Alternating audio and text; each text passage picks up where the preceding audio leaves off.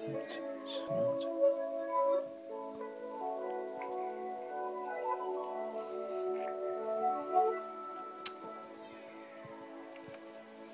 good evening. Well, as I'm sure you're more than aware, tonight's rain is currently falling with a vengeance in places. It is in the process of moving off northwards as well as eastwards. It will still be with us spinning down eastern sides, at least during the first half of tomorrow, and sunshine and showers very much following on behind. Now, this is the way our Office radar picked up on today's actual rain. Coming in as a fairly coherent band there, attached to a front out from the west, and then fragmenting and weakening as it comes, coming back to life, as it were, during the day, at least down in the south but now in the process of moving off northwards as well as eastwards. We can confirm this on tonight's actual weather chart.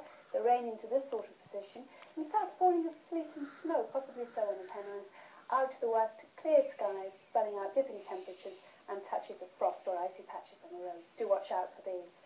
So as we go into tomorrow, we can pick up on the remnants of that overnight rain there in eastern counties, finally clearing away.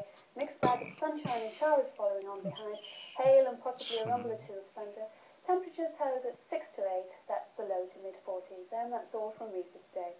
Good night.